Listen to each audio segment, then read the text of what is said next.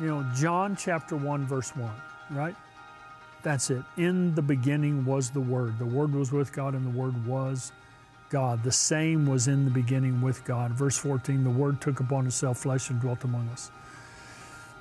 The, the, the reality is everything we know about God, everything we know about God, not hypothesize. What we know about God is revealed to us through His Word. I know God is love because the Word tells me. I know God is forgiving because the Word tells me. I know God is kind because the Word tells. I know God is merciful because the Word tells me that. I know God is the same yesterday, day, and forever because the Word tells me that.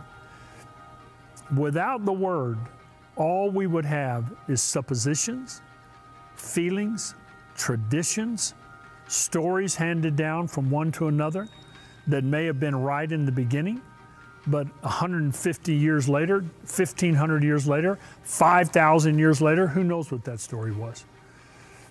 So, you know, I think, I'm sure God's impressed with this, I think it was absolutely God genius to give us the Word because the Word is the same, it never changes. It reads the same to me that it read to our great, great, great, great grandparents, and it'll read the same to my great, great, great, great grandchildren.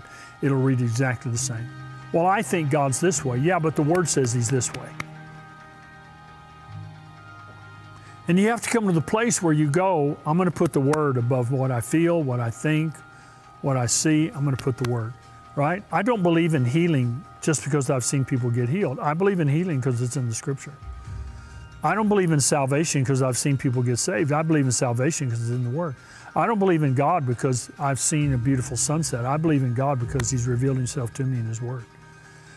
And the more of the Word of God that I put, you know, I, I hear this constantly. If you're in ministry, if you're witnessing to people, hear this constantly. I want to get closer to God. Well, then spend more time in the Word. And people always look at me disappointed when I tell them that. They always give me this disappointed look. Oh, I thought you were going to tell me some magic dust or go over here, climb this mountain, go to this valley, go do this, get in an airplane, look up. The Bible doesn't say God reveals himself to us in any other way other than the Word. Romans said we see his glory in creation, but he reveals himself to us through his Word. Matthew, the seventh chapter, Jesus said it once again better than me. If any man hear my word and do it, he'll be likened to a wise man that built his house upon the rock. And when the floods of life come, that house won't fall. Why? Because it was built upon the rock. Out of the mouth of the Savior himself, you build your life on understanding the Word and doing it. And if I want to know God, if I want to get closer to God, if I want to experience God's power, I'm going to get it through the Word. It's through the Word. I can't say it enough. It's through the Word.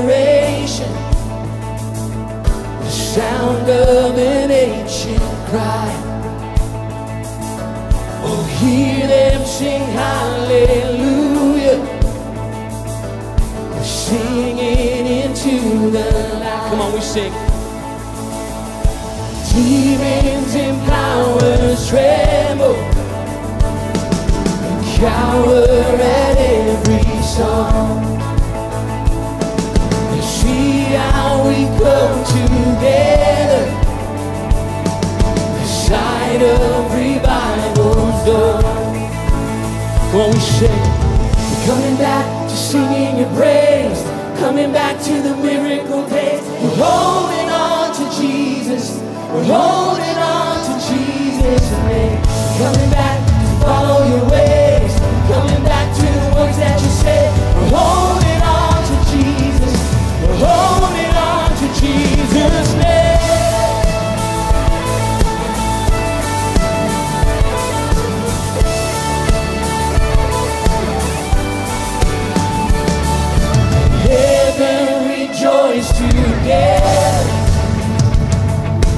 Daughters and sons arise.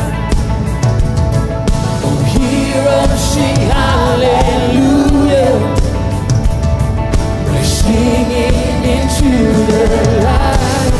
Oh, we're singing, coming back, singing your praise.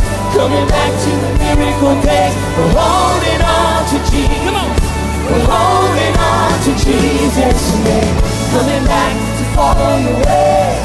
Coming back to the words that you say. We're holding on to Jesus. We're holding on to Jesus' name. Come on, lift him up with a shout of praise. You will revive us again. From dust a new life begins. Our hope is anchored in the name of Jesus. Our voice will never be tamed. Song will rise from the depths. We'll sing and sing again. Come on, can we sing that again? Lift your voice and say, You will revive us again. From dust a new life begins. Our hope is anchored in the name of, the name of Jesus. Our voice will never be tamed. Our song will rise from the dead. We'll sing and sing in the name of Jesus.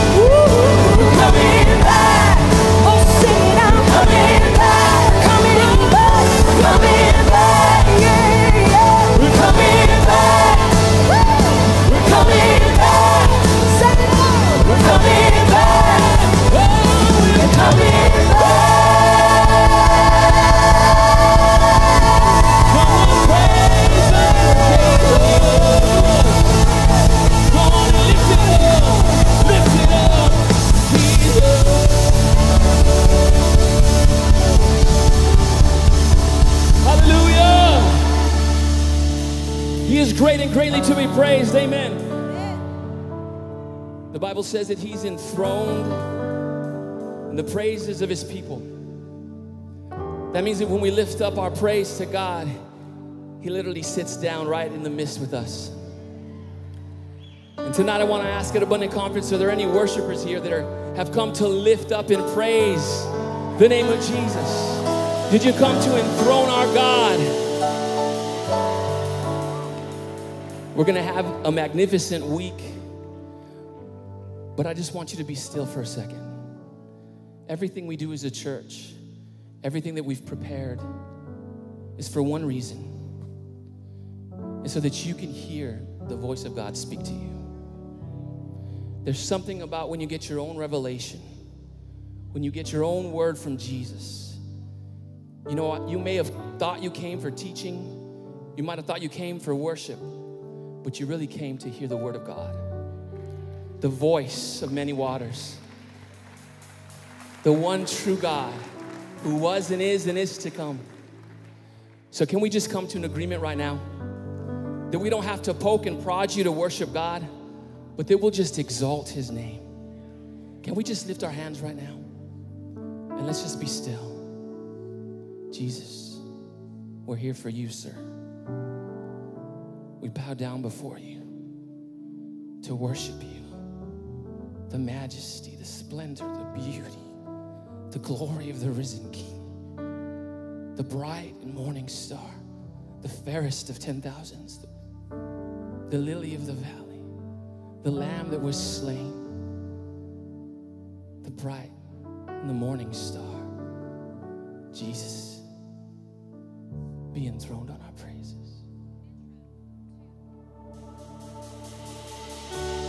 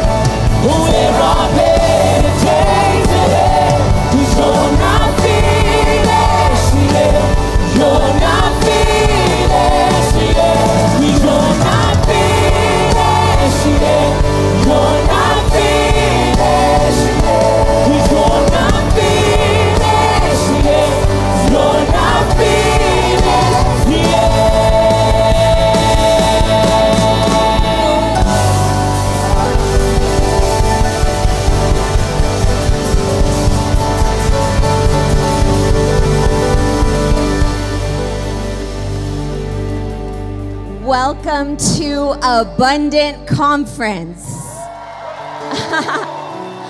Let me ask you a question tonight. Are you excited to be in God's house?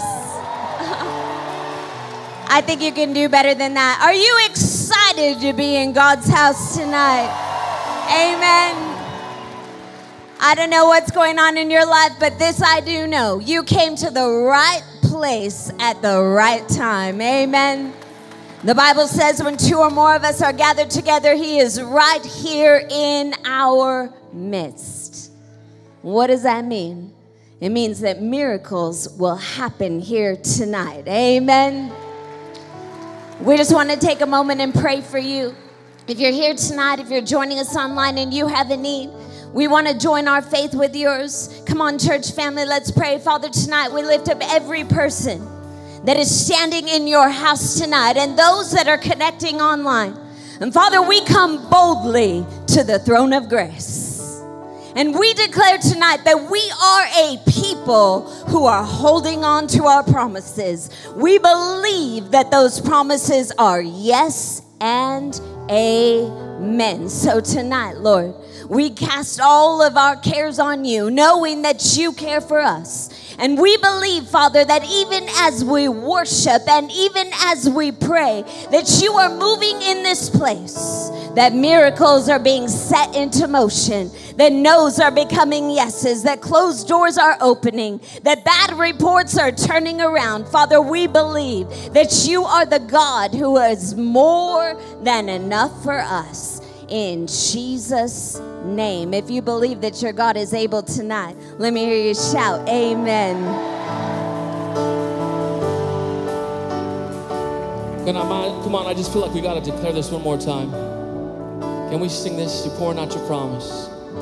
You're pouring out your promise.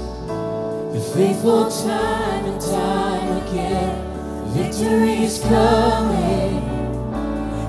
You opened up the grave, we receive it. There are better days ahead, cause you're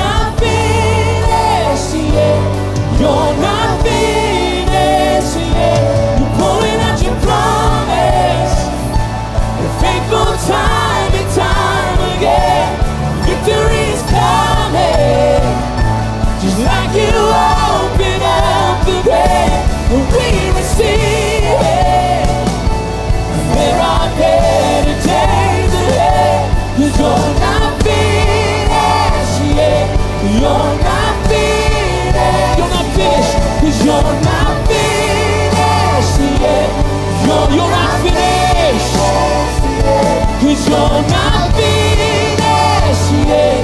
You're not finished yet.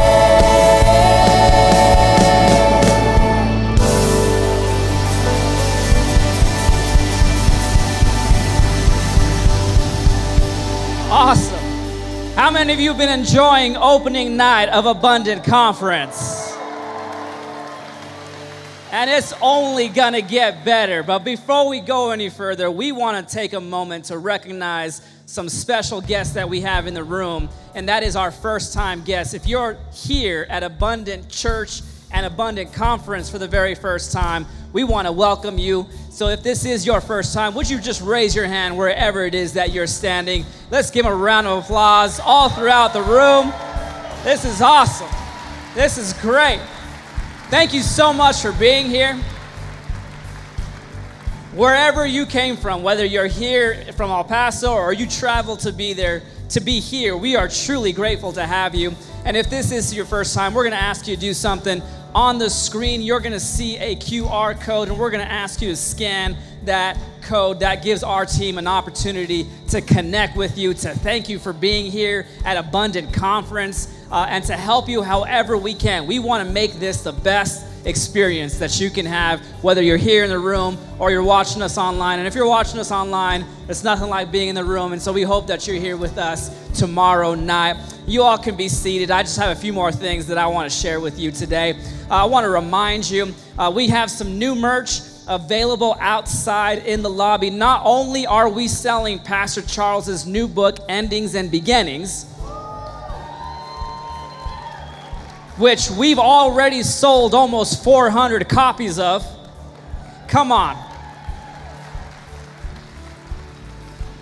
But we have a notebook, we have a limited edition hoodie and t shirt. We have posters that come with sayings from the book, all available outside in the lobby. So we want to make sure that you don't miss out on getting out all of those items tonight after the service. I think that they're going to sell out after tonight. So don't think about coming back tomorrow to get your hoodie because it's probably going to be gone tonight. Make sure you go pick up your limited edition endings and beginnings hoodie outside in the lobby.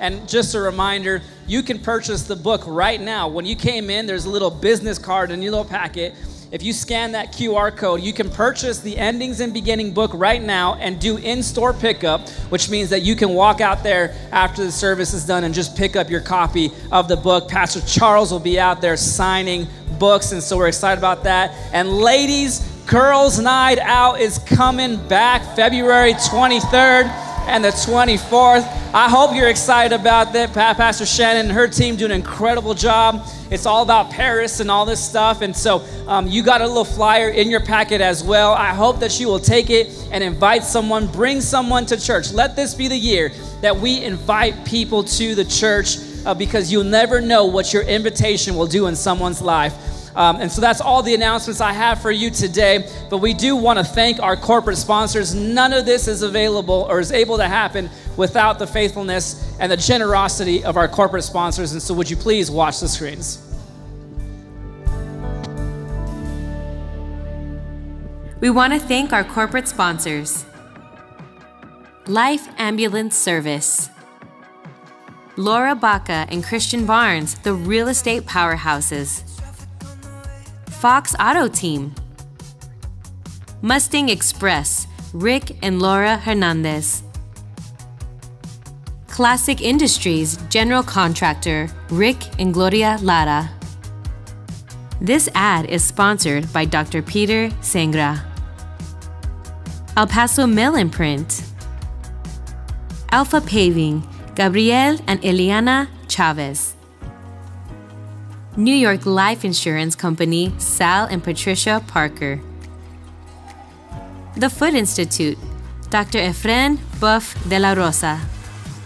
Peter Huerta with Sandy Messer and Associates.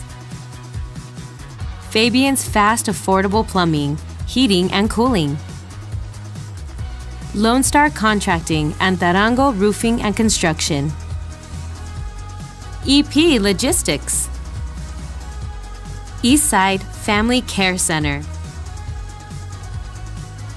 Best Deal Auto Sales. Alex Melendez Auto and Truck Center. Total Mechanical. AF Business Solutions. Joe Loya with Mayan Solar. West Carriers.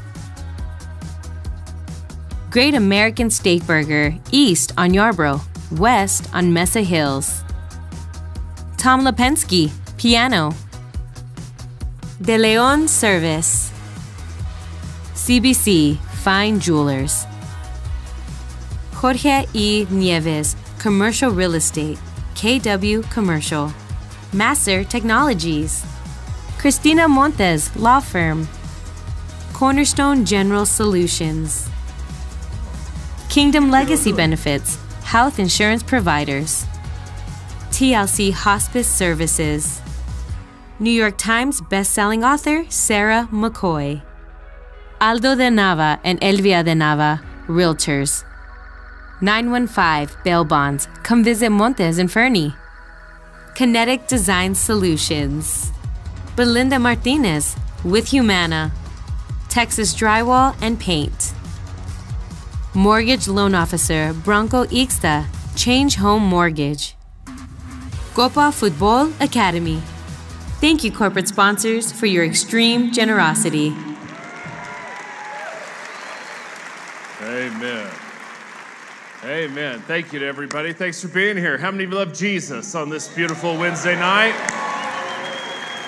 And how many of you are so glad God is on your side tonight? Come on, somebody. On the count of three, give God the biggest shout of praise. One, two, three. Come on, Abundant. Praise the Lord. Man, what a night already. We're going to prepare now to receive our, our tithe and offering and uh, our offering for the, uh, for the conference. But before we do that, you know, the Bible says give credit where credit is due. And I don't know if you realize this, but tonight in worship, in the first time in the history of our church, other than the opener, every song we sang came from the men and women on this stage and over here from our team from Abundant Worship. Isn't that awesome? Praise the Lord. There, there is a sound rising up from El Paso. Isn't that great? So, uh, how many of you can say it's your delight to give into the house of God? Amen. Amen. How many of you have seen God do great things in your life through your giving? Come on, somebody. Praise the Lord. God is our source and our supply. Philippians 4:19 says, "My God will supply all my needs according to his riches and glory through Christ Jesus." We love that scripture. We amen that scripture. We confess that scripture. But when you go read that chapter in context, that promise is tied to advancing the kingdom of God through your giving. And uh, God's response to our giving is always to provide. Give, and it will be given unto you. The law of seed time and harvest is one that has existed from the beginning of time and will exist for eternity. He who sows sparingly reaps sparingly, he who sows bountifully reaps bountifully. And our church has always been a church of generosity. Amen. It's the beginning of the month. Many of us are giving our tithe and our offering. Today, if you want an envelope, we have our white envelopes for our regular tithe and offering. Would you raise your hands up? The ushers will give you one. Or there was one in your brochure. Uh, we should also be putting up the information on the screen for text to give. You can give your weekly or, or I want to say regular tithe and offering, but there's nothing regular about our offering, right? But uh, there, what's the other word, right? So uh, you can give there. And thank you for your faithfulness in your giving. You know, we thank our corporate sponsors because through our corporate sponsors, uh, this conference is free.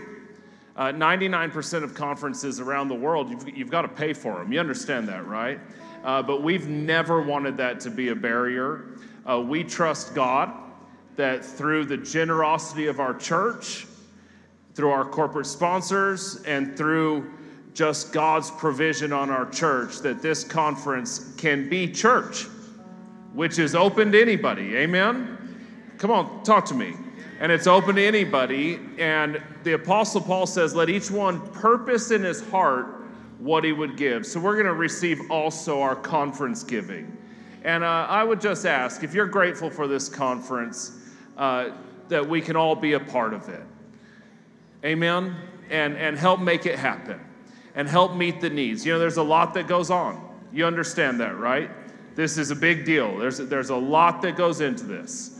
A lot of resources are poured into it. And if you can be a part of helping us to meet that budget, it would be greatly appreciated. Every dollar can, maybe you can give a dollar, maybe you can give a hundred or a thousand, whatever it is, right? We all give as God has given to us. Uh, but there's uh, the information to give as well for the conference. We also have our blue envelopes. If you need one of those, would you raise your hand up? Those should have been in your brochure as well. Uh, the brochure has all the information about the conference. And thank you for your faithfulness in your giving tonight. Uh, ushers, go ahead and, and pass the containers. Jews, can I get that covenant?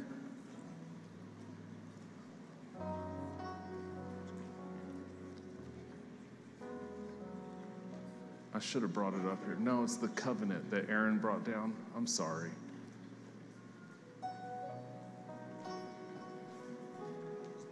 It was there. I should have just brought it up here with me. So Sunday is, there it is. Thank you, Jimmy. Okay, Sunday is Covenant Sunday. And it's so interesting that tonight, as my dad will be sharing about my mom, that I'm talking to you about bringing back Covenant Sunday because this was her favorite Sunday every year.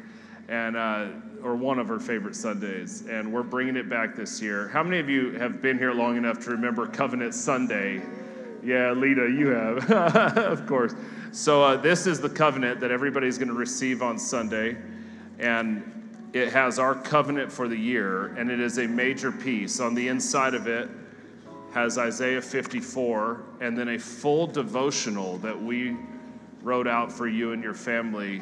We would love for you to come this Sunday and uh, we're going to teach out of this. This is going to outline our entire year for the year as a church family. And uh, so everybody coming on Sunday will get this. And I believe it's going to just launch us as a church into the rest of the year. Amen. Amen. All right, stand to your feet. We're going to worship a little more, and then we'll get into the message.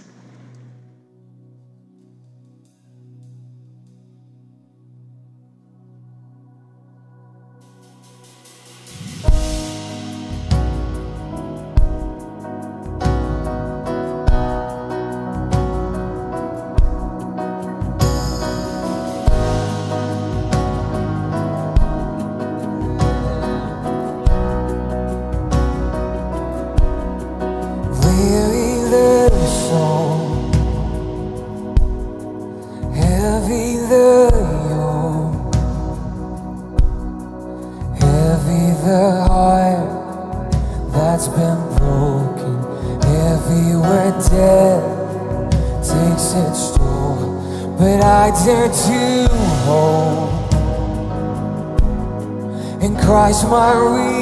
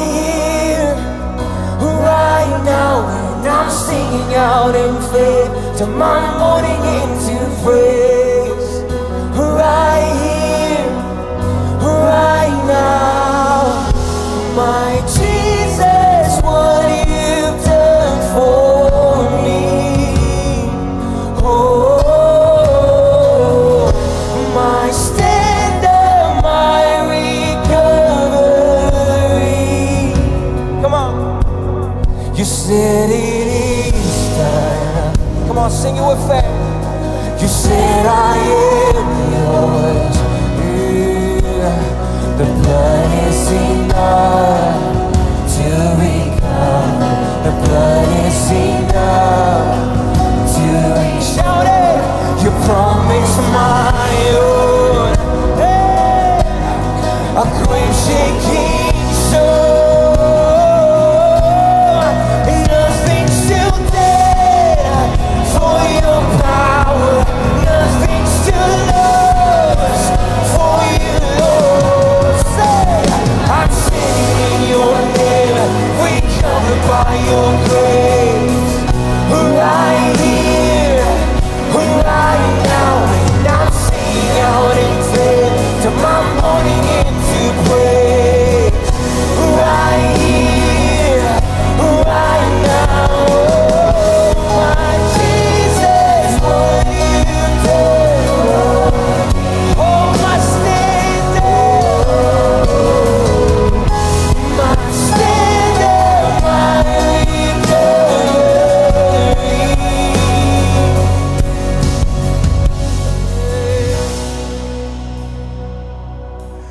as you know, you know the journey began uh, when your mom was diagnosed uh, in May of 2012.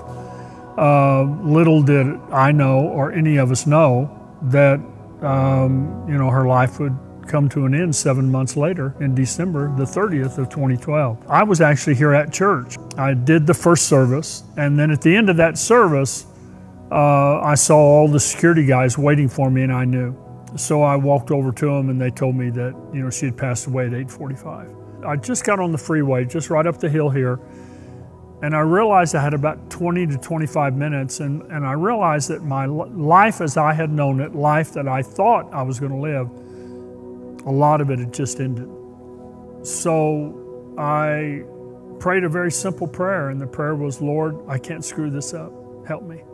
And what made it so significant was that I took responsibility for my life and for all the lives connected to me. Because I couldn't let you down, I couldn't let your brother down, I couldn't let our kid, grandkids down, I couldn't let the church down. I couldn't let my friends down, and I couldn't let him down, and I couldn't let your mom down. That, I believe, was a much bigger prayer than I realized it at the moment. And, and then this journey began to unfold. Uh, and there were times when I felt that, that that darkness would never end, right? I felt that it wouldn't, but I knew that it would because I knew God, uh, He hadn't changed. And uh, he is my Redeemer, my Deliverer, my Savior, and, and He was going to pull me out. I knew that the salvation and the deliverance was in the Word. And so I just began to, to dig in it more than I ever had. You know, John 11, where Jesus is talking to Martha and he said, I'm the resurrection and the life. And I looked up the word resurrection and it said, I am the stand up and the recovery. And then it hit me like a bomb because a part of my frustration was I knew I was on the ground and I kept trying to get up, but I just I just didn't have it. I didn't have the strength. I was too weak. And then I realized I don't have to get up. He's the stand up. All I got to do is let him stand up. So I was standing there on the on next to my bed and I said, "Jesus, stand up within me." And as he came up, I came up with him. I knew, I knew, I'm not, I'm going to get through this. I'm going to get better. And then a few days later, I came back to it and I saw the recovery part. We were doing some teaching on King David, and I ended up over in 1 Samuel 30. So there he is. His wives are gone, children are gone, all of his possessions are gone, his house is burning. Over here are all of his men, 600 of them, some bad boys, picking up rocks to come and stone him. And David goes, I'm recovered. There's nothing around him that says recovery. He said, But I choose to be, not to become. Right here, right now, David said, I'm recovered because of Yahweh. And he chose to be recovered. And I said, If he can choose to be recovered, I can. And so, right there, I just prayed. I prayed strong. I prayed right here, right now. I choose to be recovered because you are my recovery. And then I read a little further, and it says, David prayed. He said, Shall I pursue and overtake them? God says, You shall pursue, you shall overtake, and you shall recover all. And the rest is history. And I said, Well, if David can do it, and he didn't even know Jesus the way I do, I can do it, and he will do it in me just like he did it for David. So I just began, and I just began to confess all the time I'm recovered. And I am who I am today because of that word. It brought me out. If I had not gone to the word, I would not be the recovered man that I am today.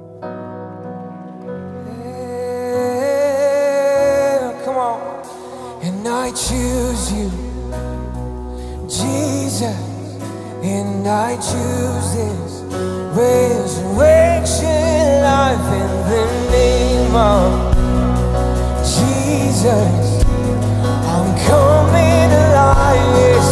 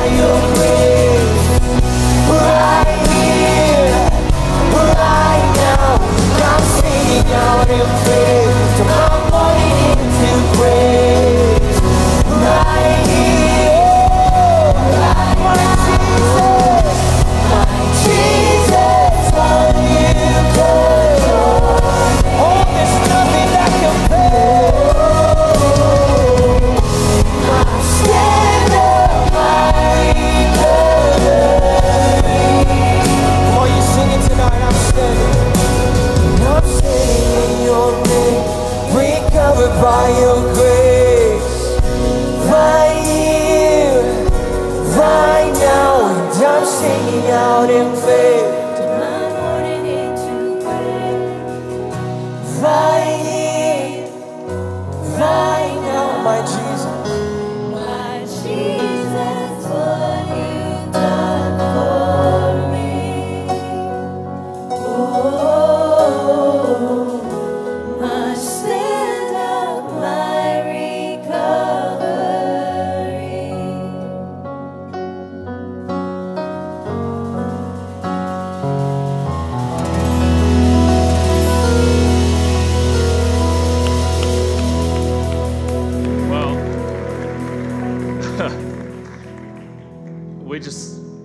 take a moment and uh, give honor where honor is due.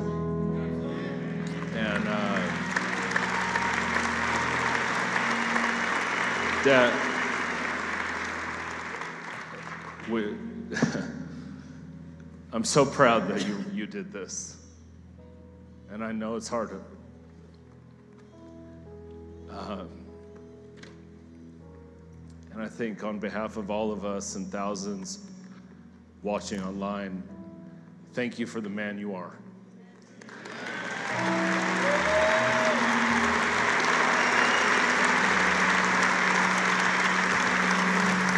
You know, some of you don't know this, but my dad started to write this book several years ago, uh, much closer to the time that my mom went to be with Jesus. And today, Dad, I was actually thinking, I really think this is the most perfect time for you to have done this because everything that you talk about and everything that you believe for, we've all watched come to fruition.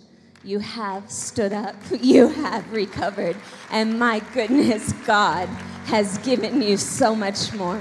And we honor you and we respect you, and there are no words. You know, he told me, I don't know how I'm going to get through this tonight. He's the best of the best. He's going to get through it and then some. Amen. We love you, Dad, so much. Would you guys welcome our incredible senior pastor, the one and only Pastor Charles?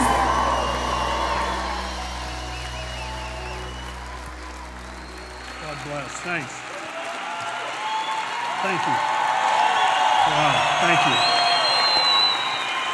Thank you. Wow. Yeah. I wish I had three days. It would take me that long at least to tell the full story, the whole story. Um, you may be seated, please. Where do I begin? This story begins over 50 years ago when somehow I convinced this amazing woman that you're going to see pictures of to fall in love with me.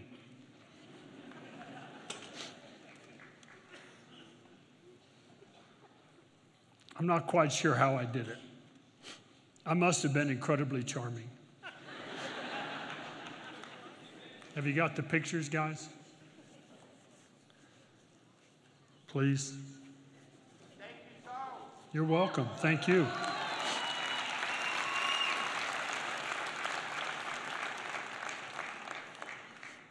I'm going to wait for the pictures. So, anyway, uh, we'll wait and then I'll stop as soon as they get them up. Are they going to get them up? Okay. Um, if it was just me, I would skip it, but it's too important for her. Uh,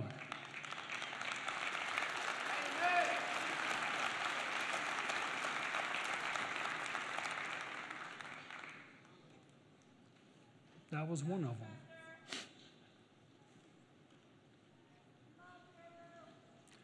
I cannot imagine the stress that's going on in that control room right now. I'm just as cool as I can be, but back there, there we go. That picture was actually taken on the day that we began two services.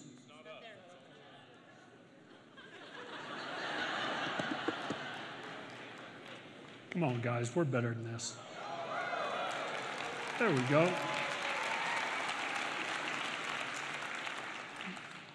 That was a big day in our life. Another big day. No one liked a party like Rochelle Nieman. That may be my favorite picture.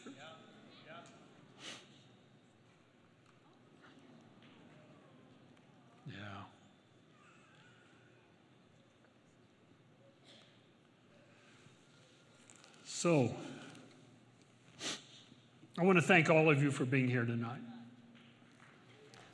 I cannot tell you how much it means to me, and it means more to me than you can imagine for me to be up here tonight and to feel your love and your support. This book, as Shannon said, well, if you don't mind, I'll read part of the back cover. Ten years after the passing of his wife, Rochelle Charles Nieman, senior pastor and founder of one of the largest churches in the nation, has taken pen to paper for the first time ever to tell the story of how he discovered hope, peace, and restoration in the middle of darkness. His journey towards recovery challenges every reader at the crossroads of an ending and a new beginning to find a new perspective when life doesn't play along.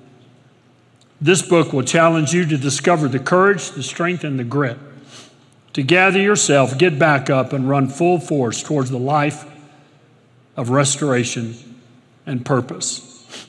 It took me 10 years to write it. As Shannon said, I sat down on several occasions to write it, wrote a part of it, had it done, had a contract with the publishing company to publish it and send it out. And I walked into Shannon and Jared one day. and I said, I can't do this. I can't do it. I've just now gotten to the point to where I can think about it and not break down. I can't do it. I can't go around the country and talk about this anymore. So I laid it down. And I really thought that it would never happen. So tonight I want to thank Shannon, Jared, and Carla for your belief in my story and the need for this little 140 page book.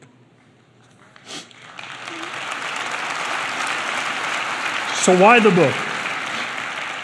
What's the point? Why, why write a book about such a difficult time in my life and our family's life and in the life of our church? Why write a book? Because sometimes, as you've heard tonight, life just doesn't play along. Can anybody say amen to that statement? Just doesn't play along. Sometimes you get what ESPN calls a bad beat. Doesn't work. Let me give you some examples. Someone you loved with all your heart is taken from you or leaves you. Someone you trusted betrayed you. Someone who should have protected you harmed you. You were abused. You were lied to or lied about. Maybe the thief of John 10:10 10, 10, where Jesus gives this incredible revelation to us that is the thief that comes to steal to kill and to destroy. Not God, not Jesus, not the Holy Spirit. The thief comes, and maybe the thief got through and stole, killed, and destroyed in your life. I can say to you tonight that it has all happened to me and to many of you.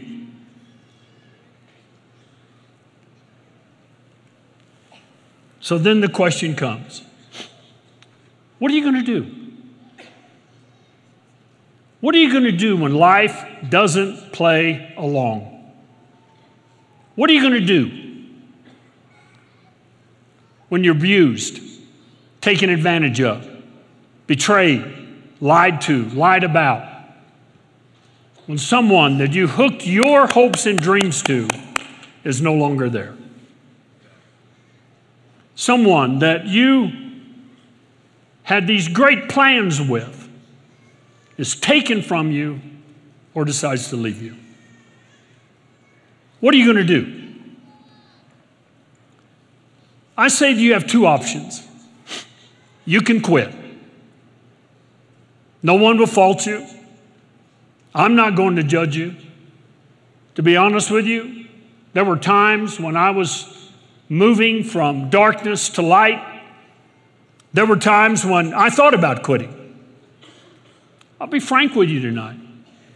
I grieved. I cried more than I thought was humanly possible. I stayed up entire nights, never went to sleep, grieving, crying, regretting, asking God to somehow tell Rochelle how sorry I was. Sorry for what, Charles? Because somehow, in my darkness, I felt that I'd failed her, that somehow I was supposed to protect her from ovarian cancer. Mentally, I know that's not reasonable, it's ridiculous. But as a man, as a husband, I felt that was my responsibility. I'm old fashioned that way.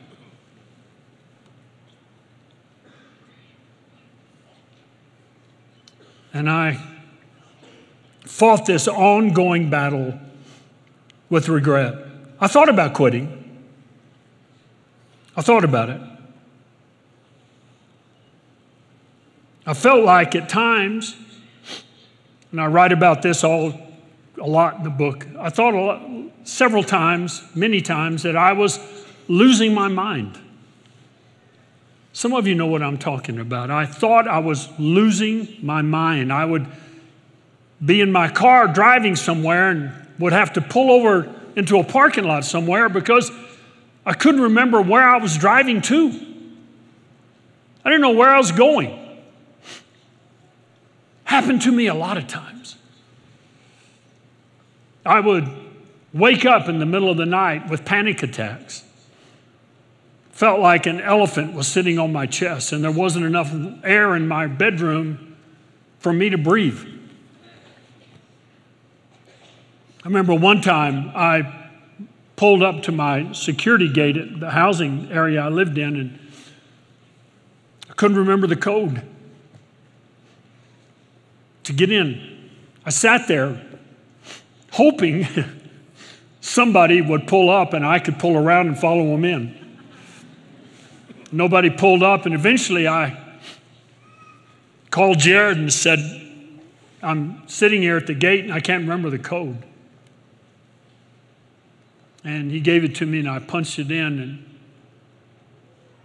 that day I pulled in and pulled up my driveway and didn't even pull into the garage. I just pulled my car up and opened the door and got out of the door and I walked over to the ravine that was behind my house and I stood there and I sharing this with you because I think some of you have been there, you know somebody that's there, and I stood there at the edge of that ravine and I said to God, I said, if this is my future, if this is my future, if I'm going to lose my ability to remember and to think and to function, then right here, right now, I think you owe me this. You need to take me to heaven. Because I refuse to live this way. If this is my future, you need to take me to heaven right now. And I just stood there and waited. I did. Obviously, he didn't take me. So, what that said to me, what that said to me was, then you still have a hope and a future for me. But I also understand, so let me go back to my point that you can quit I'm not going to judge you. As I said, I thought about quitting. What's important, though, is what my pastor, Tommy Barnett, taught me years ago. It's all right to think about quitting, just don't quit. It's all right to think about it. Tommy writes his resignation letter every Sunday night. That's what he told me. Writes his resignation letter every Sunday night, puts it in his jacket pocket on his way to church to the office on Monday so he can resign because he did he thinks in his mind he did such a lousy job on Sunday. He's going to drive in and turn in his resignation letter and before he stop, goes he stops and gets him a venti coffee and he said that coffee has kept him in the ministry all these years. Some of you know what I'm talking about, right? So he said, It's all right to think about quitting, you just don't quit. That's nice. That's a cute thing to say. That's good preacher stuff. But when you live in it, it's a whole different game. Could I hear a good amen? So I said, I felt like I was losing my mind. I was filled with so much regret. I've had people ask me recently, Pastor, what was the biggest struggle you had? With me, it was regret. It was regret. And I've learned a great lesson about regret. You can't win the battle with it. You can't win it. You cannot win the battle with regret. Can I tell you why? Because you can't change anything that you're regretting. Because everything you're regretting is in the past and you can't do anything about it. It's back there. And no matter how much you add it, it comes up with the wrong number. Does anybody know what I'm talking about tonight? And that was the biggest battle for me. I regretted not what we had, I regretted what we weren't going to have. I regretted that my grandchildren would never know this incredible woman. A woman that all she ever talked about for years and years and years was, uh, was her becoming a grandmother. I used to say to her, You know, I'm going to become a grandfather too. Yeah, well. It's just like it didn't register. It was going to all be about her, and it would have all been about her, I promise you that. All right? I couldn't, I couldn't sleep. I would go days and not sleep because of fear and anxiety and regret fear of the future, fear of being alone, fear of becoming a burden to my children, fear of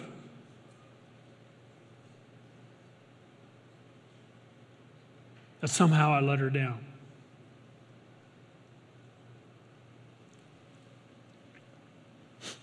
There were times, a lot of you were here, you were here in service with me when I would break down in public, standing on this great stage with this tremendous responsibility on my life. I would just break down, would stand up here and weep. seemed to me like forever. I'm sure it was just a few moments. So then I say all that to you tonight to bring us to this question Can we respond?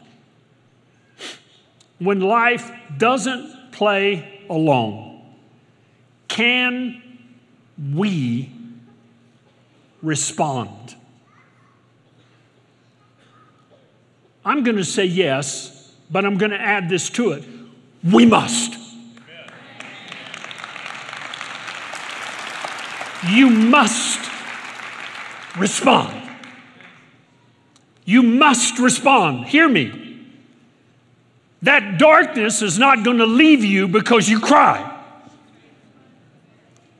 That fear is not going to let go because you feel sorry for yourself. The devil is not going to call the dogs off because you don't want to get out of bed. You must and can respond. There is a response to you, for you, in Scripture. I said in the video before we began tonight that I told the story, and I'll just touch on it again now. I told the story about that morning I was at church, Sunday morning, December the 30th. I came into the Saturday night service on Saturday night, and I went back home that night and I could tell Rochelle was not doing well. It was her birthday. And she wasn't doing well, but she'd had so much fun that day. And, and uh, she wanted to know all about the service and how it went. And I told her about it. And I decided while I was talking to her that I wasn't going to come and do the Sunday services. And I guess she sensed it. And she looked at me and she said, Now you're going to church tomorrow. And I said, No, I'm going to stay here with you. And she said, No, you're going to church tomorrow. She said, You've been out a lot.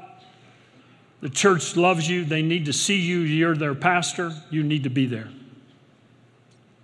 And you know, when you're married to somebody, as long as I was with Rochelle, there's certain things you know that's just not worth arguing over. because there's not going to be an argument. It's already settled. Can I get a witness on that, on that, right? And that was settled. So I got up the next morning, came to church.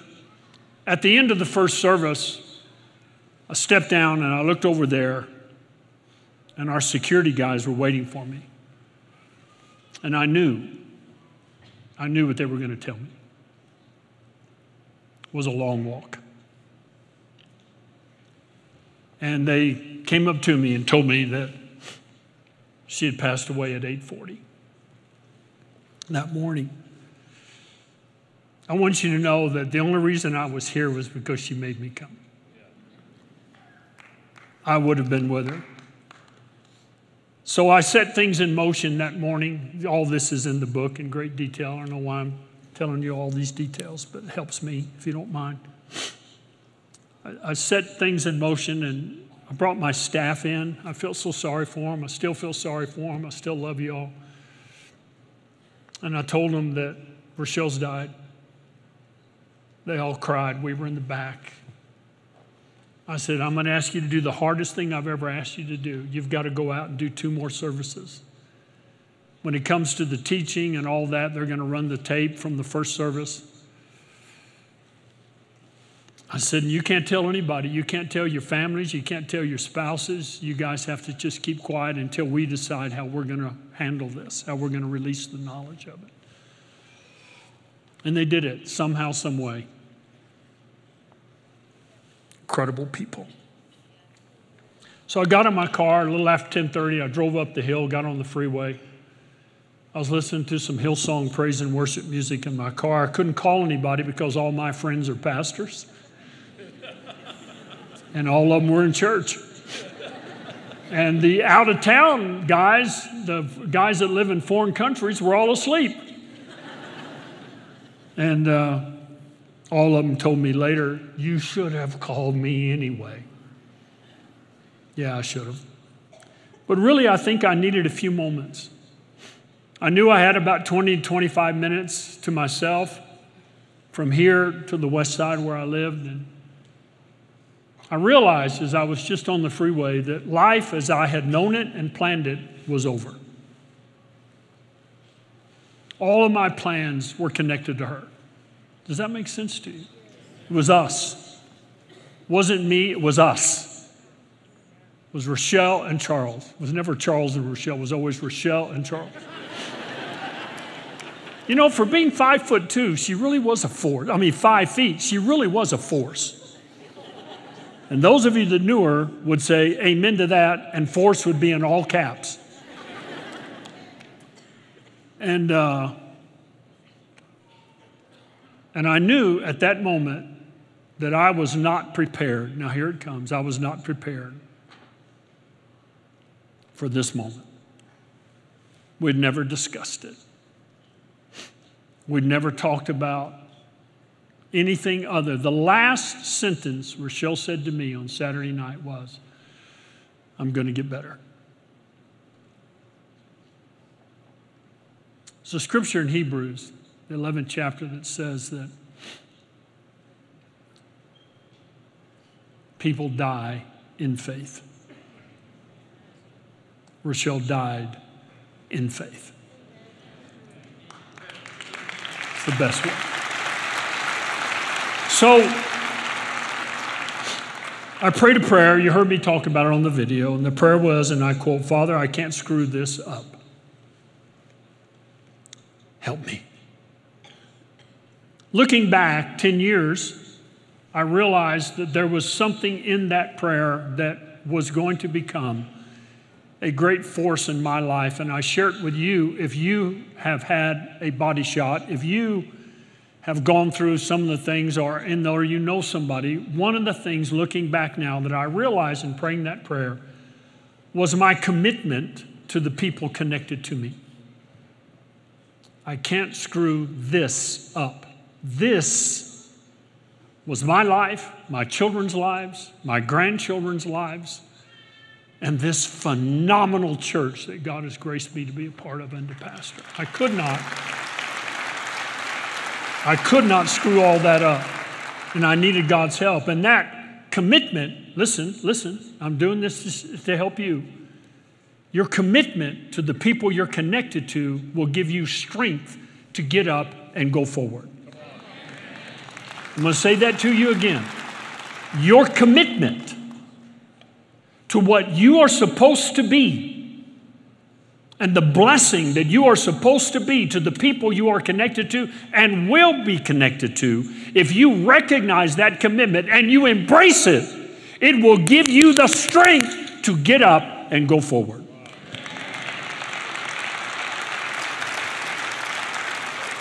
I would, I know some of you will say, wow, how did you get that? I'll tell you how I get it. It's a simple verse. I didn't realize it at the time that, you know, the Bible does things in you that when you see it, you don't know it's doing in you until you look back and you see that it did things you didn't know. Don't ask me to repeat that, I don't think I could. but the reality is, is that there's a promise, and it's a big deal to me. It's a big deal in our church. It's one of our pillars of who we are. God said, As for me, I will bless you, and you will be a blessing. And that scripture had lived in me for so long and transformed my thinking and my approach to life so much that I could not, could not screw this up. I couldn't fail my children, my grandchildren, all of you, my friends, and people I didn't even know yet. And most of all, I couldn't fail him. I couldn't screw this up. My choice and your choice has effect on other people. Deuteronomy 30, verse 19 says, I said before you life and death, blessing and cursing. Therefore, choose life, that both you, read it with me, and your seed may live.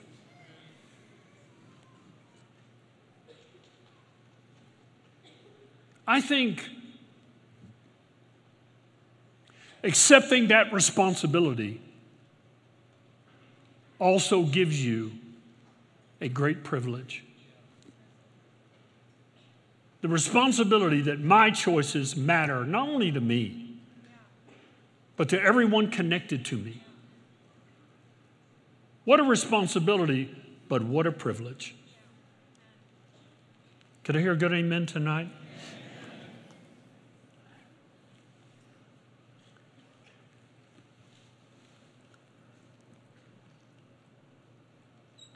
Without thinking about it that morning, I made a positive move in my life. Hear me now. To search the Word and seek the Lord for answers for my life. Let me say that to you again. I made a positive move that morning and every morning since then to search the Word and seek the Lord for answers. I knew that I would not find recovery in the bottom of a wine bottle.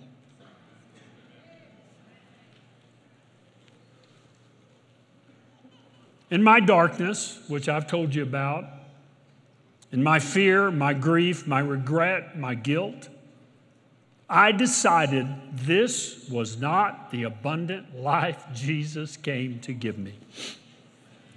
I stand before you tonight thanking God for this book.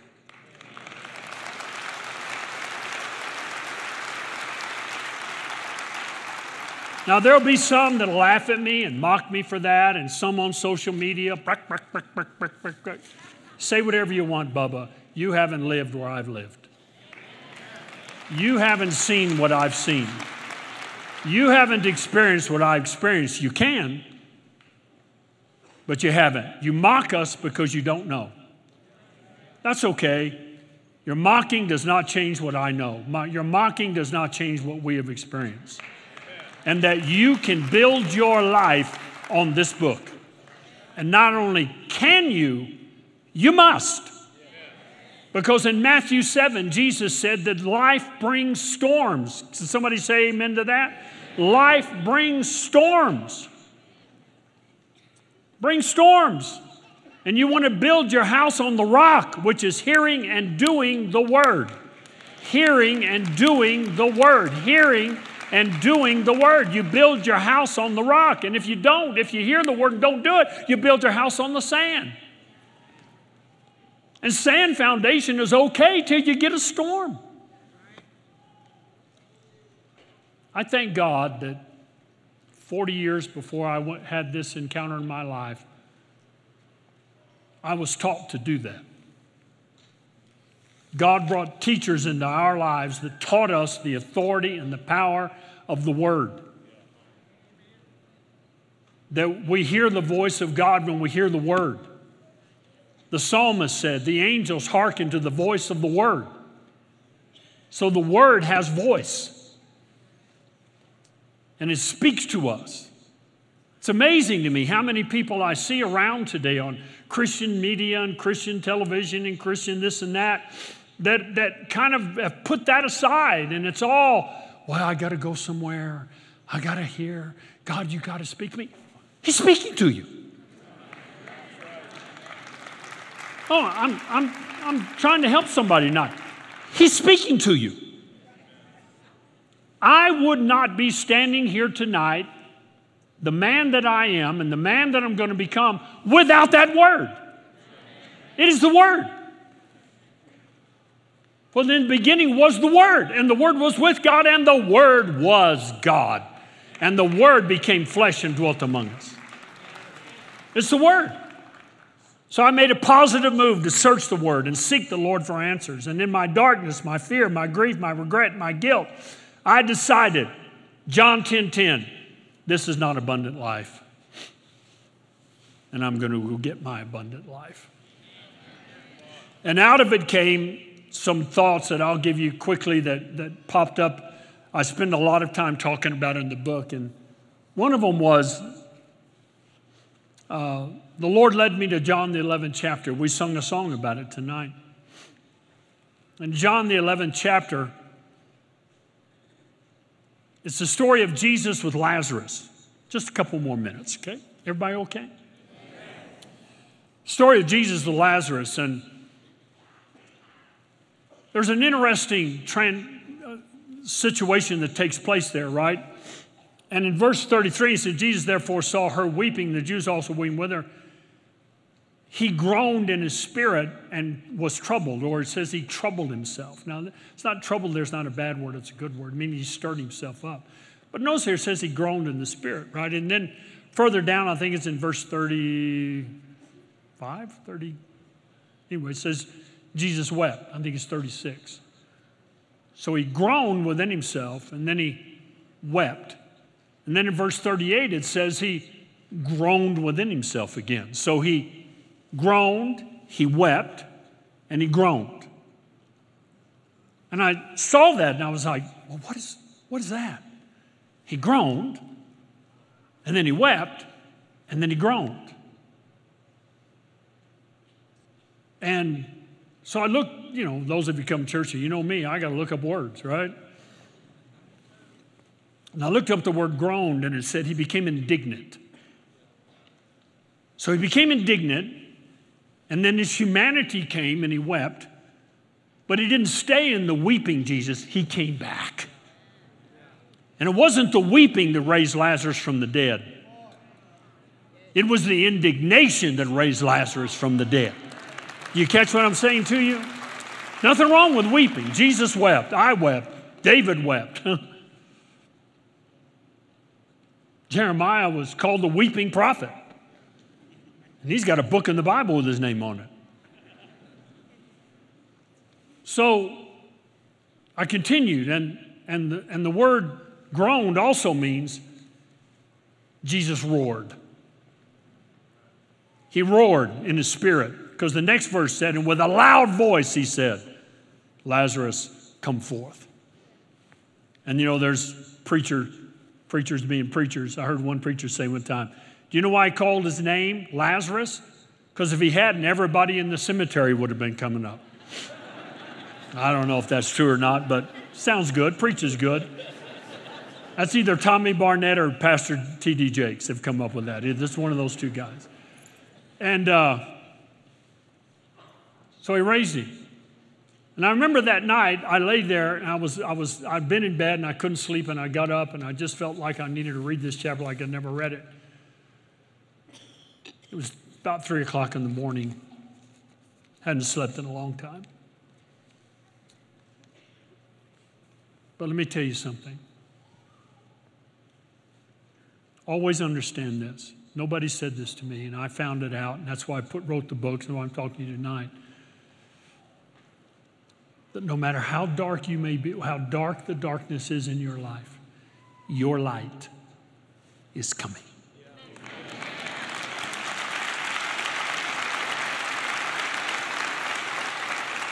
And the scripture says, it is the entrance of His Word that brings that light.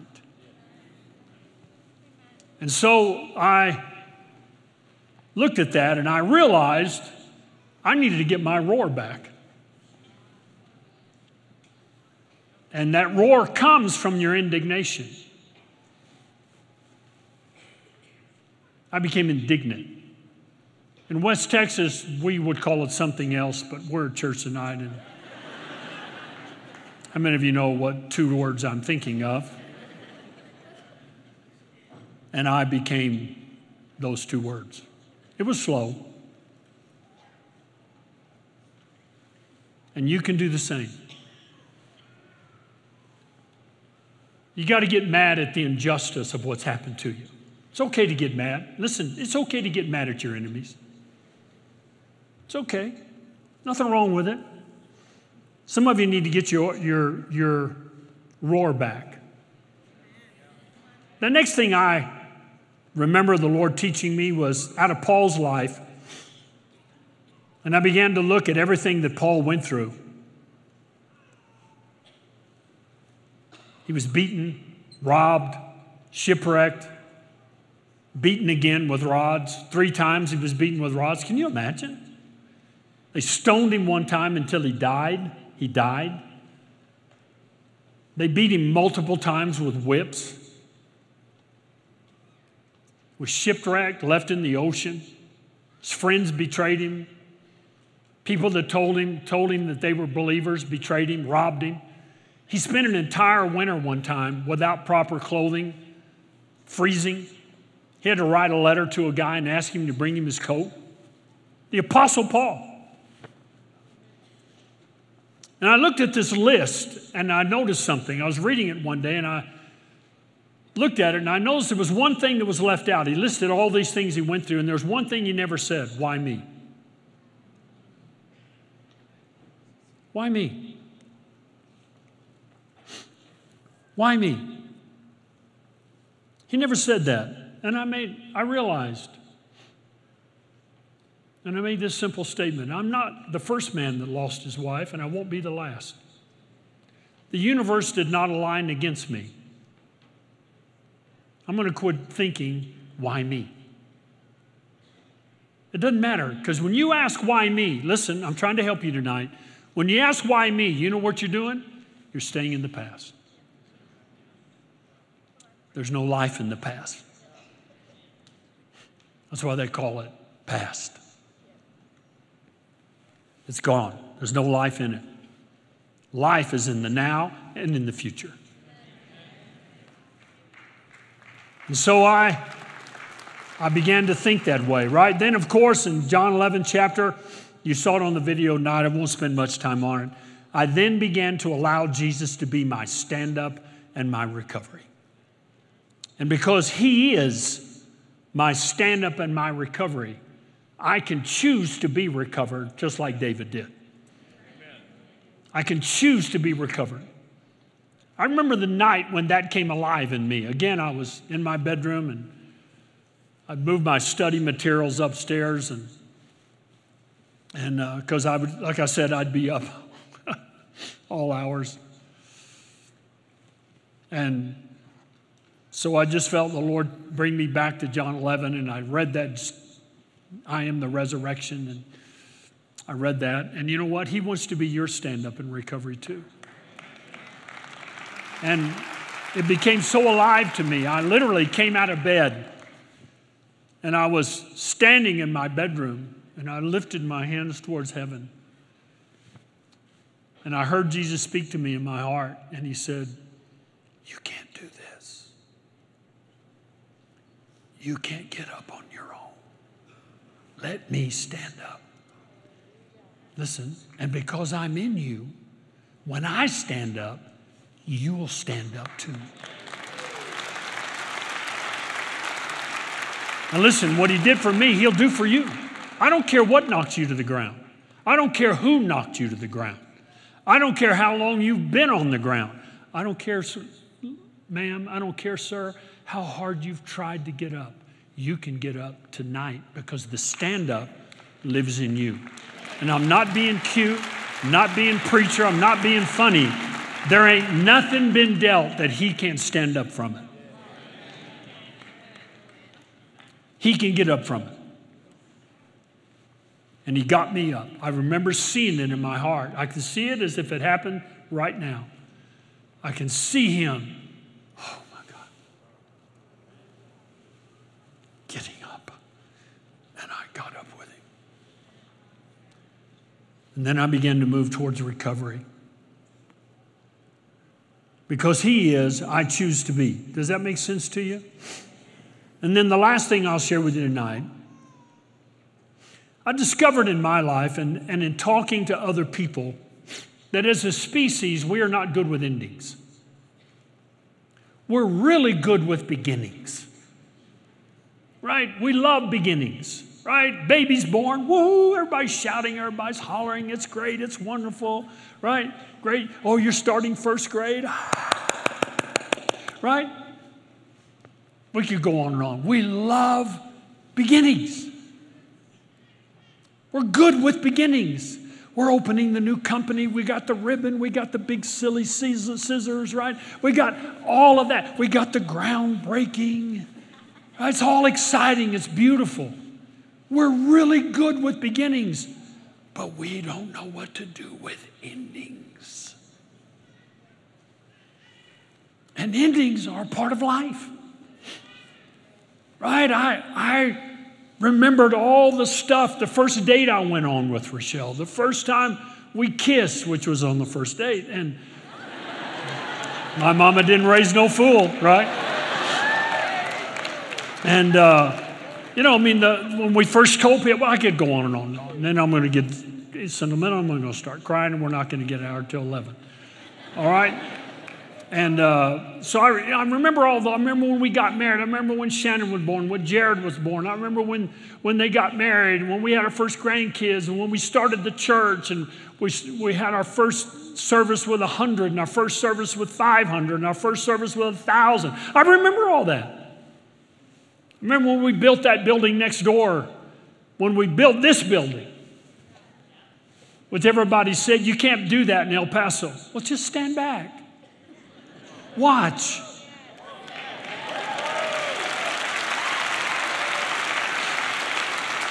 Now, if you've never heard me before, I'm going to take about 30 seconds. I'm going to give my little speech that I've been giving for years. And my little speech is this We don't got to live in Dallas to do great things. You can do great things right here. You don't got to live in Houston to do great. You can do great things right here. You don't got to live. You don't got to live in San Antonio or Austin. You know what somebody told me the other day? Do you know what somebody told me the other day? Somebody came up to me the other day and said, "Well, you know, Pastor, this isn't Lubbock. You know, Lubbock, Lubbock. It used to be Dallas and Houston and San Antonio. Now it's Lubbock. Now we're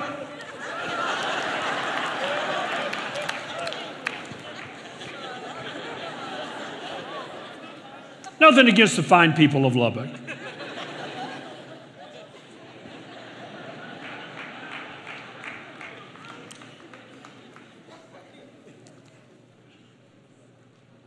There's a scripture in John 19, chapter, verse 30. Jesus is on the cross. Listen to it.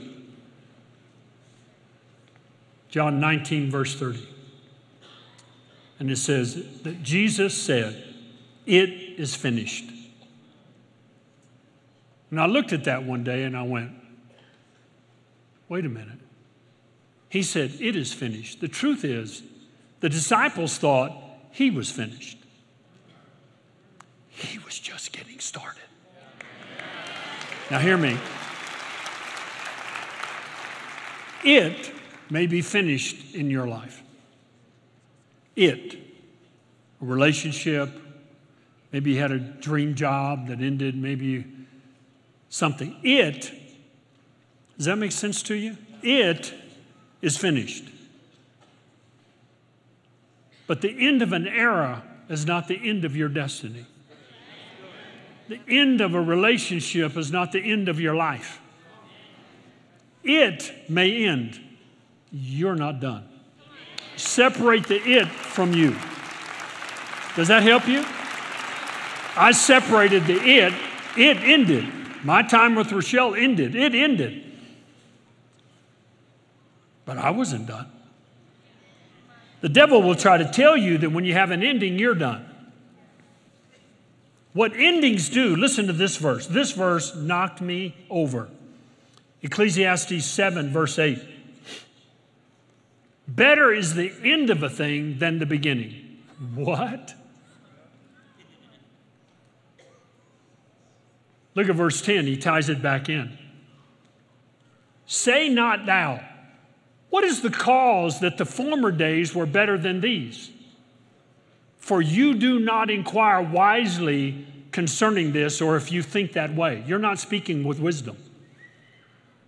Let me tell you what the issue is. A couple more minutes. Jesus explained it to us in Luke, the eighth chapter. You know what our issue is? We love the old. In Luke, the eighth chapter, Jesus said, You got to get new wine for your new wineskins. Look at that. With every ending, God has a new beginning for you. But our problem is, as a species, we like the old. We, we, Jesus said, you know, you know what your issue is? Say, you say, the old is better. But the old is over.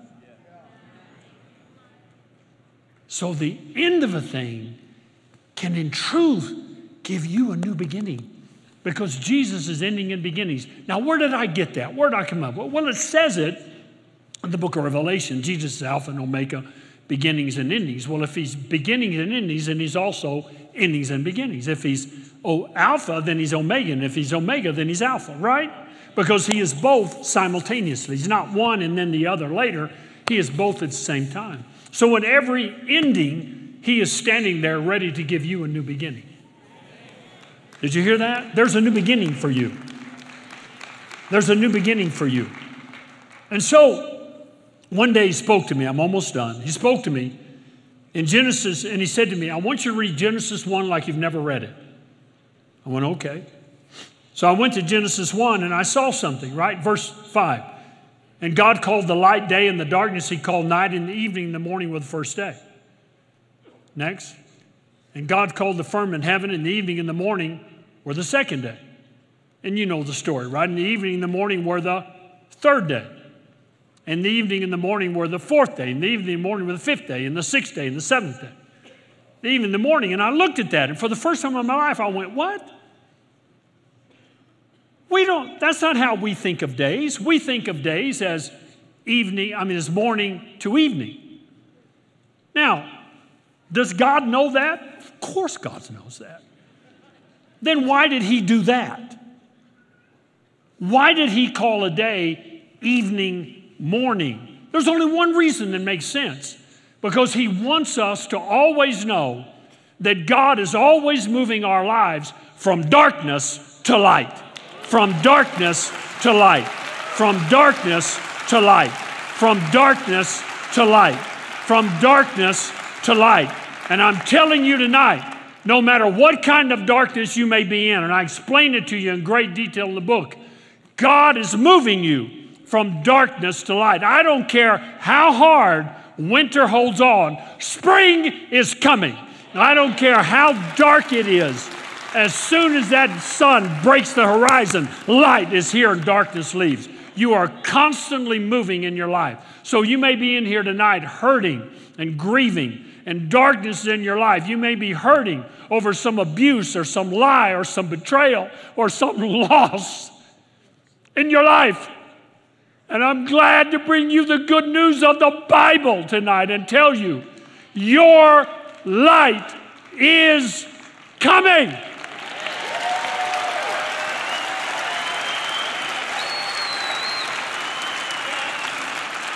And it is bringing you a new beginning.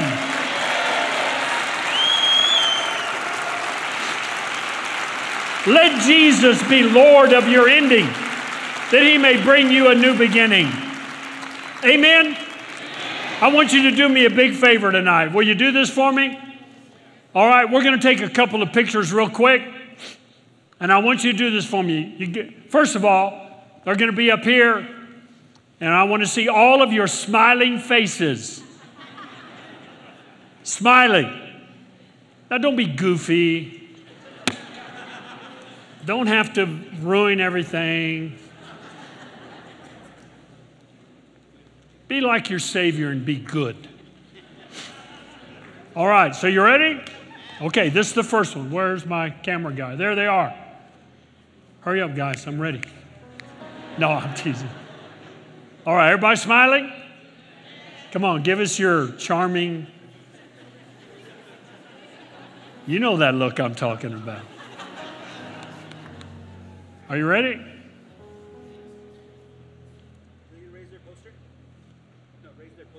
Oh, now, you got your posters that were on your seats? All right, get them out. Make sure they're reading the right way. All right. Now I want you to hold them over your heads. Ooh, look at that's cool, huh? That looks good, doesn't it? My blonde haired daughter, Lucia. How's it look? Does it look good? Do I look good, Lucia? Thank you. And the book. Whoops. I forget.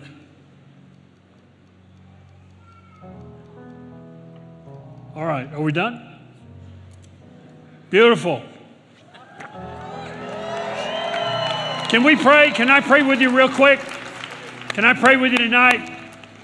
Don't you love those posters? That was, uh, I think that was Shannon's idea there on those things, those things like that. Hey, look, in a moment we're going to dismiss and I'll be out in the lobby. I'd love to sign your book. I'd love to take a picture with you if you'd like. Uh, but I'll be signing books for weeks to come. All right, so if you buy one tonight and you don't want to wait, that's cool. Just bring it back. I'll be here to sign them for you. All right? Be my joy. You don't know. There's no way you can know.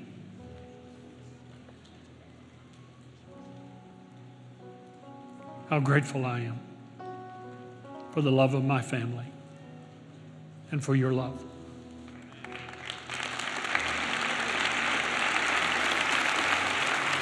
Many of you in this room walked with us, and me in particular, through that tragedy. And here we are, 10 years later, standing up and recovered. To God be the glory. All day I've been singing this song. I'm not going to sing for you. I'd have to charge you extra if I sang. It's an old song. Andraé Crouch sung it. How can I say thanks for all the things you have done for me. Things so undeserved. Yet you did to prove your love for me. The voices of a million angels cannot express my gratitude for all that I am and ever hope to be. I owe it all to thee. To God be the glory for all the things that he has done. Things so undeserved. To God be the glory. Lift your hands towards heaven. Lord, we honor you and thank you tonight. Lord, I pray tonight for anyone and everyone that is here tonight that the devil has pounded their life.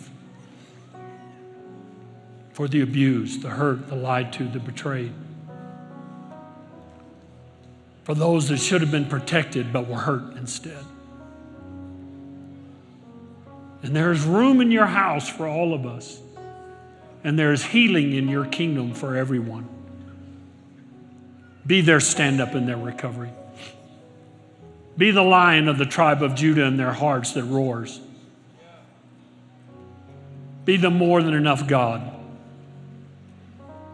that looks beyond our faults, sees our need, and comes with salvation. You are our Redeemer, our Deliverer, and our Savior. You have a hope and a future for us. And we are not, we are not going to screw this up. Right here, right now. Say it with me. I choose to be recovered. Right here, right now. I can smell the houses burning.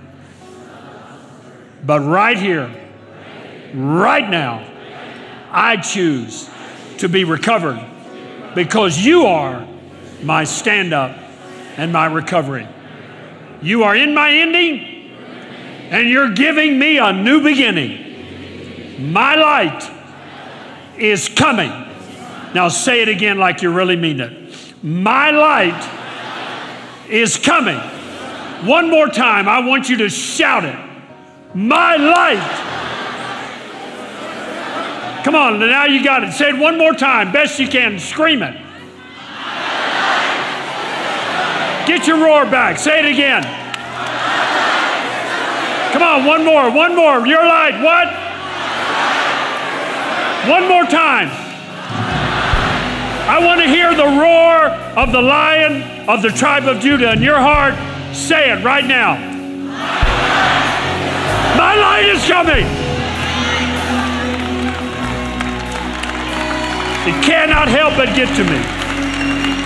Every head bowed, every eye closed. If you're here tonight, you've never made Jesus Lord of your life.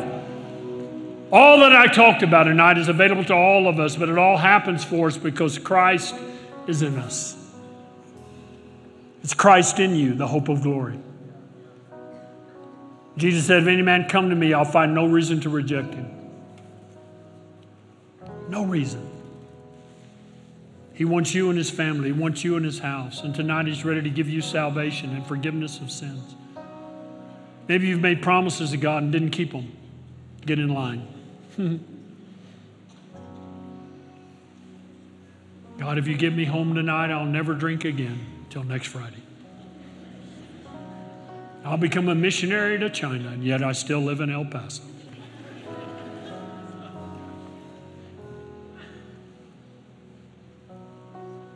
God loves you. He has a hope and a future for you. He wants to shed his love abroad in your life. In a moment, I'm going to lead the whole church in a prayer here in the service and online. If you've not made Jesus Lord of your life, this is your night to do it. He's been knocking on the door of your heart all night. Are you ready? If you'd say to me tonight, Pastor, I'm going to pray. I'm going to become a child of God tonight. I want Jesus in my life. I've never seen him like you described him tonight. I've just thought of him like a fairy tale or like a fable or somebody back in the ancient time never knew that he was real and alive and would get in, get in your darkness with you. Yeah, that's him. And He wants to be in your life. And He wants you to know Him in a personal way through His Word and by His Spirit. So if you'd say to me tonight, Pastor, when, when you lead everybody in prayer, I'm going to pray with you. If that's you right now, put your hand up. Just raise your hand up right now. Raise your hand. I want to see it. Hands are going up. Keep them up. Keep them up. Keep them up. Hands are going up. Every section, I want to see your hands. Pastor, pray with. I'm going to pray with you tonight. Let me see your hands tonight. I'm going to pray with you tonight. Spectacular. You put your hands down. Is there anybody else? Pastor, I'm going to pray. I've thought about it for a moment. I'm going to pray. Don't leave me out. Let me see your hands tonight. Pastor, I'm going to pray the yes over here. Thank you. Others, let me see your hands up in the risers. Wow, it's so beautiful. All right, I want all of you to raise your hands. Everyone else, pray with me. Say it out loud with me. Lord Jesus, it's all about you. You are the Christ, the Son of the living God. And I ask you now, come into my life. I receive you as my Lord and my Savior. I believe in my heart that you died and rose again for me. You did it for me. And I receive you and all that that means into my life. Come live in me. Be my Lord and Savior. Teach me how to live. In Jesus' name, amen. Hey, can we applaud all these people that prayed to rejoice with them tonight? If you raise your hand and prayed that prayer, they're going to put a QR code up. Please scan it, answer the questions. We're going to sing a praise and worship song, and then service will be over. I'll be out front if you want to sign the book, all right? I'm standing there, I'm standing in your name, recovered by your grace. Right here, right now, I'm singing out in to my morning into praise.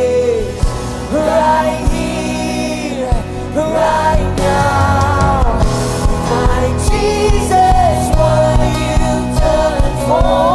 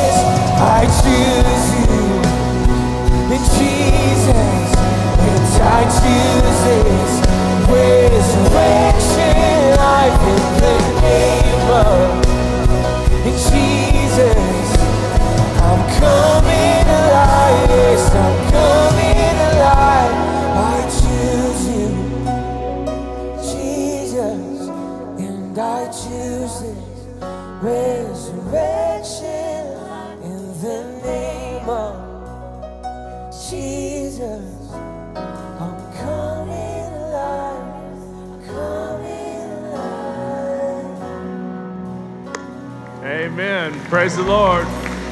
What a great night in the house of God. Amen. Night two tomorrow night. Andrés Spyker from Mexico, will be here. Israel Houghton will be in worship. Be here tomorrow night, 7 o'clock. We love you. Have a great night.